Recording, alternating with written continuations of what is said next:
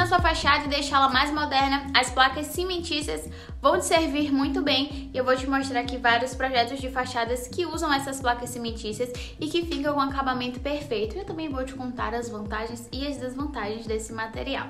E se você gosta desse tipo de conteúdo aqui no YouTube, eu te peço para curtir esse vídeo e se inscrever aqui no canal se você ainda não é inscrito. As placas cimentícias deixam as fachadas muito modernas, algumas aí com visual mais urbano, industrial e outras com visual mais sofisticado. As placas cimentícias elas são produzidas industrialmente por um padrão altíssimo de qualidade e já vêm prontas para uso. Por isso elas facilitam a obra e te ajudam a economizar. Elas são produzidas aí através de uma tecnologia que é chamada de CRFS, cimento reforçado com fio sintético. São vários formatos, tamanhos e tons para você escolher e por isso que ele é muito versátil. Mas por que escolher placas cimentícias? Bom, são muitas as vantagens, elas são perfeitas para quem procura um visual mais contemporâneo, mais autêntico e também diferenciado. Existem também os modelos com geometria em 3D e mosaico para quem gosta desse padrão e sonha é, grande aí com esse paredão iluminado na fachada da sua casa que acaba se tornando o centro das atenções. Um ponto positivo e importante é que a placa cimentícia ela é uma alternativa ecológica. E se o futuro é sustentável, com certeza esse material vai fazer parte dele.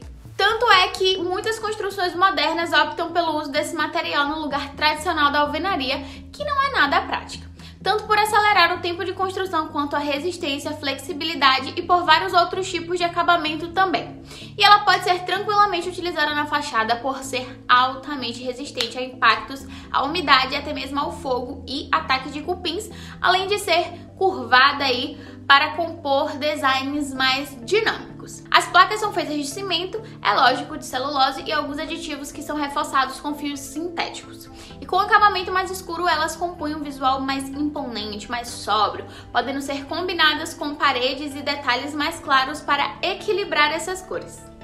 A combinação com revestimentos amadeirados e com madeira dá super certo, tá? Ele é um material é, que une o rústico, o natural, o sofisticado, o moderno e o urbano e o atemporal ao mesmo tempo. O efeito 3D faz toda a diferença nas fachadas, com essas placas utilizadas apenas em uma parede ou coluna e geralmente elas criam esse destaque na obra.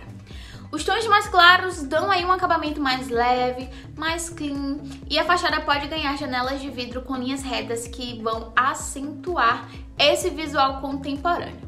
Existem placas aí que impressionam pela imponência também, fazendo parte de projetos de luxo, principalmente quando é, a área fica aí, a área de lazer fica logo na parte da frente da casa. Do interior da casa para fora dela, vários são os modelos como elas podem ser dispostas e arrumadas no projeto de design de interiores e cada vez mais, podem acreditar.